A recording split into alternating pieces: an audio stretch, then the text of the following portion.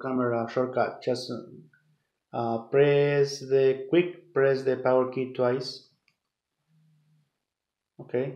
And you have your camera open already. In case that you have an emergency to take a picture or video just uh, quick boom boom the power key okay?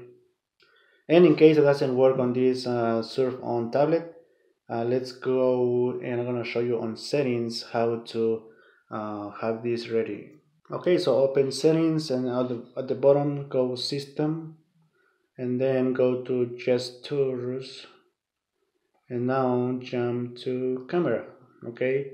And if that doesn't work that means uh, this might be off which is that leave it on so this uh, shortcut will be ready whenever you need it okay? And even if you uh, have a lock screen on your tablet and it's locked you don't have to unlock it just uh, quick press twice dun, dun, and your camera will be open immediately okay? Uh, in case you need that. Okay i hope this um, was helpful to you. Please subscribe to my channel. Uh, search my other tutorials related to this smart tablet. Surf onn and thanks so much for choosing my video.